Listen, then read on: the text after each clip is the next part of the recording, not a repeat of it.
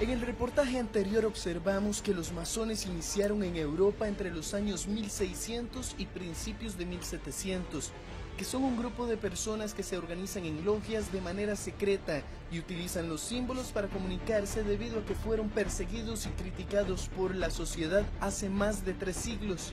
Y este año nos abrieron las puertas de su templo para conocer qué hay dentro de esa hermética organización. No, no somos una secta somos una organización discreta. La Iglesia Católica, la Iglesia Mormona y otras iglesias, pues eh, hay simbolismos de, de, la masonería. En nuestro país, la francmasonería llegó a cargo del presbítero Francisco Calvo, quien fundó la masonería centroamericana en 1865. A esta organización se le llamó la respetable Logia Caridad número 26, que se instaló en San José. En Perú contacta con los curas revolucionarios, con los curas masones, que conforman logias y él en la logia Cruz Austral recibe la iniciación y los grados de maestro masón. Y él viene con la ilusión y con la encomienda seguramente de fundar la masonería en Centroamérica. La masonería comenzó a expandirse en Centroamérica y a instalarse en Guatemala, Honduras, El Salvador y Nicaragua. La masonería en Guatemala se fundó en 1873, procedente precisamente de la masonería costarricense que estuvo formada en, 1871 por el padre Francisco Galvo, cuando se fundó el Supremo Consejo Centroamericano. O sea, Costa Rica es la cuna de la masonería centroamericana. Este 2013 decidieron abrirnos las puertas y dejarnos mostrarle a usted lo que hay dentro de esas edificaciones secretas. Este es un templo masónico, los cuales se basan en el templo de Salomón ubicado en Jerusalén según la Biblia. A nivel mundial se encuentran colocados de este a oeste, con el significado de la salida y puesta del sol. Como todo aquí tiene un significado, podemos comenzar por las dos columnas que están a la entrada, tal como es el templo de Salomón.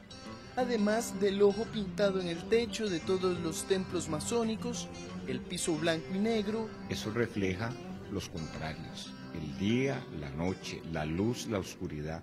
Los masones somos seres humanos, seres humanos que buscamos la perfección, seres humanos con defectos y seres humanos propensos a cometer errores y hasta errores muy graves. En la Gran Logia ubicada en San José nos abrieron las puertas del Museo Masónico, donde se encuentra la espada de uno de los primeros masones y expresidente de la República de Costa Rica, José María Castro Madrid. Aquí encontramos figuras del expresidente Próspero Fernández, Braulio Carrillo, de José Martí, Simón Bolívar y accesorios utilizados por estos y otros masones. Los masones han en no pocas oportunidades intervenido en procesos bélicos, de una u otra forma.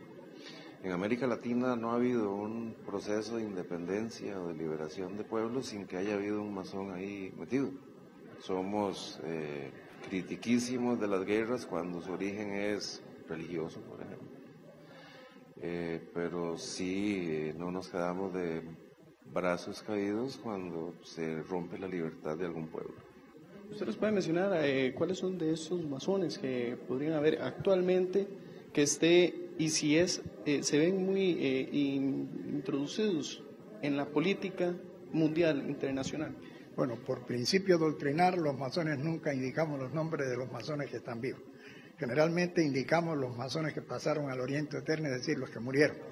Pero la dignidad o la facultad de dirigir quién es un masón solo le compete al hermano en forma personal. La masonería abrió sus puertas, poco a poco se vuelve menos conservadora, aunque aún hay secretos que no quisieron confesar. Ese hermetismo que aún mantienen se abre para mostrarnos una pincelada del mundo que pocos conocen.